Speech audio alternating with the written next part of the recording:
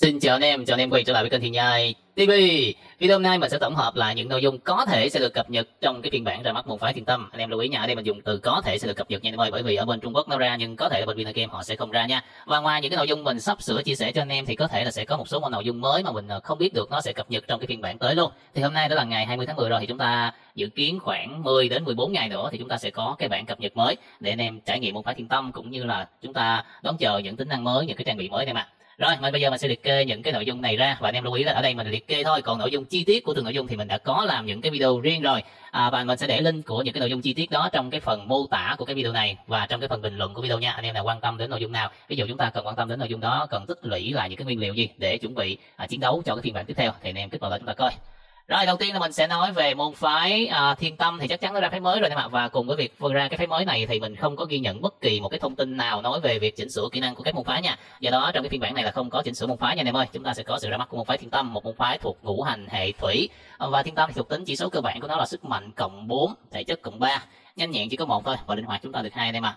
Và, và cùng với sự ra mắt môn phái thiên tâm thì nó sẽ mở một cái cấp độ mới dành cho những em nào đã lên được tông sư 99 rồi. Nó gọi là cấp thái đẩu cấp thái đẩu sẽ mở à, sau cấp tông sư 99 nha anh em ơi. Đây cấp thái đẩu thì cái biểu tượng nó sẽ như thế này đây.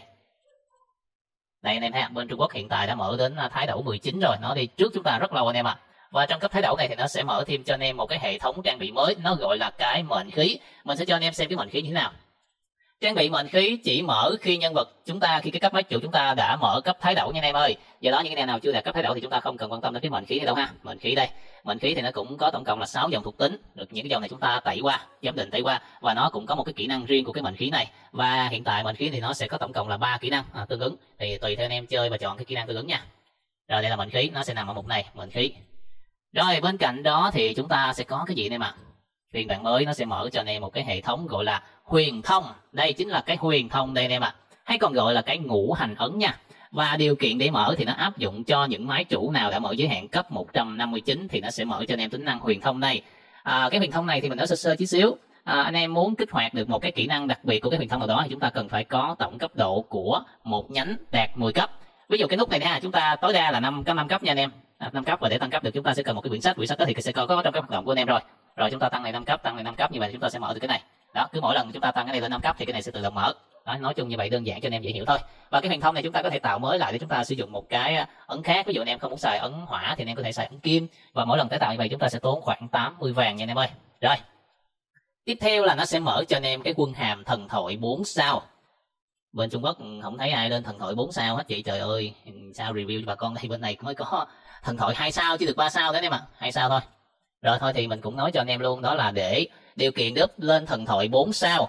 Đó là anh em cần phải đạt cấp tông sư 99 lực chiến của chúng ta phải đạt đó là 40 triệu. Và số lệnh bài, anh em cần phải có đó là 6 cái truyền thuyết lệnh 6 thần à quên 7 thần dụ lệnh và 6 cái bát hoang lệnh. Đó là chúng ta up từ thần thoại 3 sao lên thần thoại 4 sao nha anh em. Rồi, đó là cái nội dung cập nhật tiếp theo một cái nội dung tiếp theo nữa đó là nó sẽ mở cho anh em một cái phó bản cái phó bản sự kiện anh em ạ. Ở đây thì hiện tại mình thấy nó đóng cái phó bản này rồi. Không biết là phó bản này nó đi theo sự kiện hay gì nhưng mà cái phó bản này là phó bản tổ đội.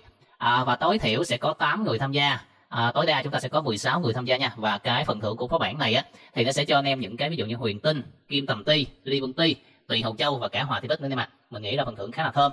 Thì nội dung chi tiết phó bản này mình cũng có review cho anh em sơ sơ về cái nội dung của phó bản này rồi. Anh em có thể vào trong cái link đó để chúng ta xem nha ở dưới cái phần mô tả này mà và lưu ý một anh em một vấn đề đó là trong cái phó bản này thì lực chiến là đều như nhau cả đó nó không tính lực chiến thật đâu rồi một cái thay đổi nữa trong cái phiên bản sắp tới đó là nó sẽ thay đổi trong cái vấn đề công thành chiến anh em ạ. À. Trong công thành chiến thì cái này mình nghĩ là sẽ áp dụng cho mấy anh em nào chơi ở các server mới nó sẽ hiệu quả hơn. Đó là nó sẽ giảm số lượng của những cái công thành xa, những cái nỏ xa và những cái pháo xa. Anh em sẽ không thể nào sử dụng được nhiều vật phẩm này trong một cái trận công thành chiến.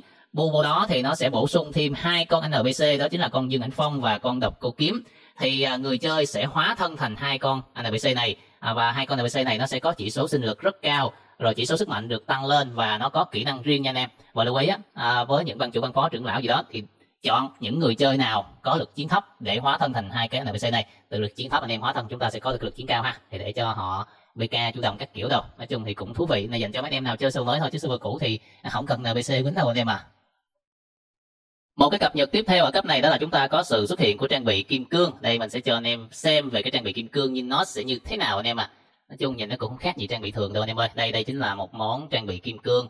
À, và mình đã có làm một cái video nói về vấn đề đó là anh em nên cân nhắc để chơi được cái trang bị kim cương nha. Tại vì trang bị kim cương này anh em chơi và chúng ta phải tăng bậc thì nó mới cộng chỉ số vào cho anh em. Còn chúng ta lên trang bị kim cương mà chúng ta không tăng bậc thì cái chỉ số nó cộng vào rất là thấp nha anh em ơi. Cái này mình có clip nói về chi tiết cho anh em rồi. Và hiện tại ví dụ như cái trang bị này anh em thấy hiện tại nó chỉ mới có cộng lên tới bậc 4 thôi. Bậc 4 thì nó chỉ cộng cho anh em được cái chỉ số sinh lực cơ bản 12 phần trăm thôi anh em à đó thì nó khá là ít. Và để chế tạo được trang bị kim cương thì chúng ta cần phải có đồ phổ ừ, của trang bị kim cương. À, và chúng ta cần phải có thêm một cái vật phẩm nữa đó gọi là cái đá bổ thiên hay gọi là toàn bổ thạch anh em ạ đá bổ thiên. Thì đây để mình mở cái hoạt động của nữ đế đây. Mình sẽ thấy được đây chính là cái đồ phổ trang bị kim cương. Đá bổ thiên đây nó nó nó ẩn vô đâu rồi không thấy được anh em ạ. Đây đây chính là cái đá bổ thiên. Rồi trang bị kim cương xong rồi tiếp theo là mình sẽ có sự xuất hiện của cái tuyệt học bạch kim nha anh em. Wow.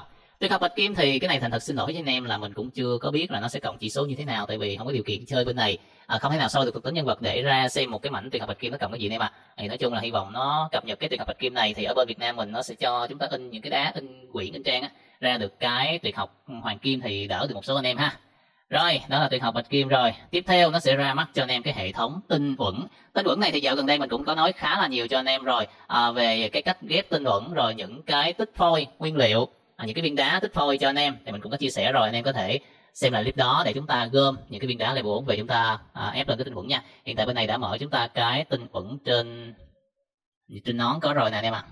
đây kéo hơi lắc đây một cái tinh uẩn trên trên nón. Bao tay chưa có chúng ta có tinh uẩn trên áo hiện tại bên này đã có 5 viên tinh chuẩn nha. Nón, rồi áo.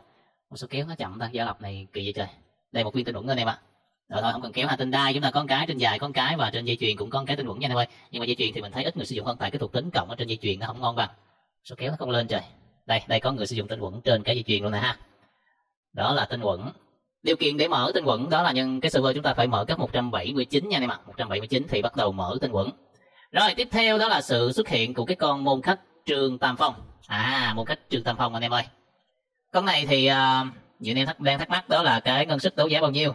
Thì con này mở thì cái ngân sức đấu giá đó là 18 cái ngân sức nha anh em. Và cái điều kiện để chúng ta uh, giải phong ấn con này là như thế nào thì mình cũng đã có chia sẻ cho anh em rồi. Ở trong cái clip chi tiết đó là chúng ta cần bốn cái con môn khách 3S và trong đó hai con không thể thiếu đó chính là cái con tần thủy hoàng và con quỷ cốc tử gì đó. Anh em nào chưa có hai con này chúng ta hãy chuẩn bị hai con này đi. Nó môn khách 4S trường tam phong rồi cập nhật tiếp theo là nó sẽ điều chỉnh cái map của u đảo sẽ à, có nhiều cái khu vực hơn nó có nhiều tầng hơn anh em ạ à, nó có nhiều tầng hơn. Chúng ta có thể ra được tới biển luôn rồi điều chỉnh luôn cả cái map long an cái này mình cũng đã có clip review cho anh em.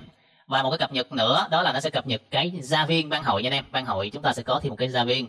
Và ban chủ thủ lĩnh chúng ta sẽ có bổ nhiệm được những thành viên có thể thao tác chỉnh sửa được cái gia viên đó nha. Cái này thì mình không có ban cho đó mình cũng chưa có clip nào để trải nghiệm cho anh em về tính năng gia viên này rồi như vậy đó là những cái nội dung cập nhật trong cái phiên bản tiếp theo. Thì trong những cái nội dung này mình à, nghĩ là một số nội dung anh em cần quan tâm chú ý. Thứ nhất đó chính là cái hệ thống của cái mệnh thông. Mệnh thông chính là cái ngũ hành ấn là một cái. Thứ hai là cái tinh uẩn. Tinh uẩn thì anh em hãy gom nguyên vật liệu để chúng ta chuẩn bị cho phiên bản tiếp theo ha. Cần một số đá level 4 và một số đá level 5 à, cho cái phần tinh uẩn. Rồi anh em nào mà lên tới cấp thái đẩu thì chúng ta sẽ quan tâm đến cái uh, mệnh khí. Mệnh khí thì chúng ta cũng tốn vàng anh em ạ. À. rồi những cái vấn đề còn lại thì tùy theo cái điều kiện nạp của anh em mà chúng ta chơi nha anh em ơi. Như vậy mình sẽ dừng cái video uh, tổng kết lại đây. À, và nếu như có những thông tin gì mới thì mình sẽ tiếp tục cập nhật cho anh em trong những cái video tiếp theo và anh em nhớ đăng ký kênh của mình để theo dõi những cái thông tin mới nha anh em ơi. À, cảm ơn anh em đã dành thời gian quý báu để theo dõi video hôm nay. Và xin chào và hẹn gặp lại anh em những video sau.